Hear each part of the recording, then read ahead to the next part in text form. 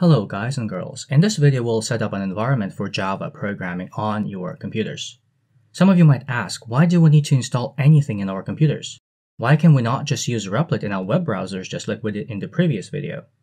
Well, Replit is not the best platform for Java programming. For one, as some of you probably noticed last time, it took quite a bit of time for Replit to run that tiny piece of Java code that prints hello world. That is not completely Replit's fault though. As mentioned in one of the previous videos, Java programs generally cannot boast high speed performance. So speed is one reason why we will not continue using Replit in this video series.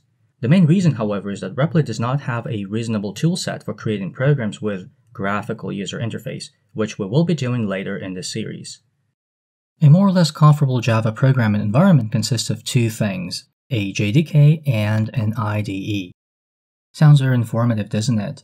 But still, let me make it even more informative.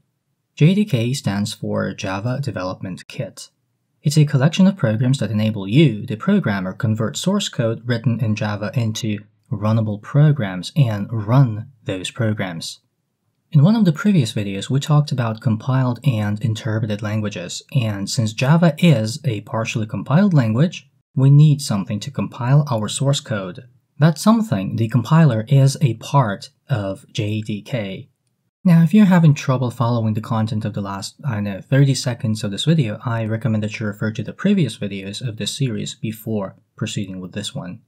The other thing, IDE is not absolutely necessary to create programs in Java, but it does make programming substantially easier. IDE stands for Integrated Development Environment. Simply put, an IDE is something like MS Word or Google Docs, but for writing code. IDEs normally give you suggestions, highlight errors, make it easier for you to structure and maintain your code. Sounds like a must-have thing, doesn't it? So you use an IDE to write source code and JDK to turn that code into a runnable program. Both a JDK and an IDE are, simply put, computer programs, and there exist multiple JDKs and multiple IDEs for Java programming. We'll be using Oracle JDK as our JDK and NetBeans as our IDE. Both are closely related to Oracle, the present owner of Java. It's worth mentioning that NetBeans is hardly the best Java IDE. Not at all, but I do find it one of the most beginner-friendly IDEs that has a good out-of-the-box support for creating programs with graphical user interface. So to get the JDK on our computers, we need to download and install it.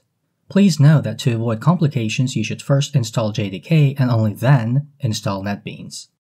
To download JDK, we can simply Google JDK and click on the link that takes you to the downloads page of the Oracle website.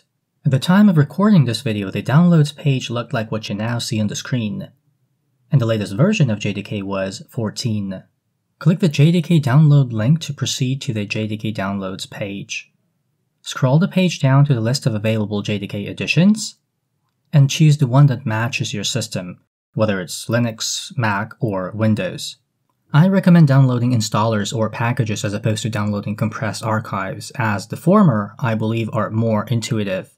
Because I'm using a Mac, I'm going to download the Mac OS installer. Once the download is finished, open the installer and install JDK on your computer. On the screen you can see the process of installation on a Mac. Doesn't look very complicated, does it? Now let's download and install NetBeans. To download it, let's Google NetBeans and click on the link that takes you to netbeans.org. From here, we click the Downloads button to proceed to the Downloads page and download the latest Apache NetBeans 11.3.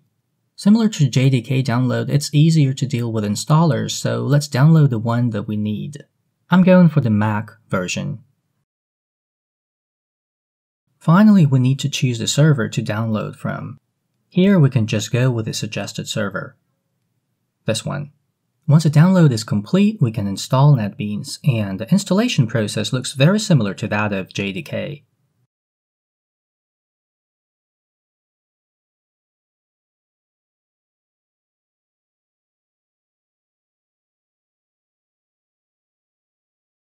Now let's launch NetBeans just to see what it looks like.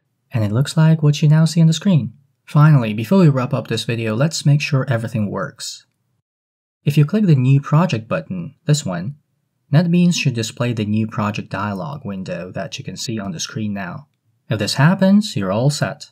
If it doesn't, then something went wrong probably during installation and if you need help with troubleshooting, please write a comment below this video. So now we are ready to start making Java programs, which we will get to in the next video. And this is it for this one. Bye bye.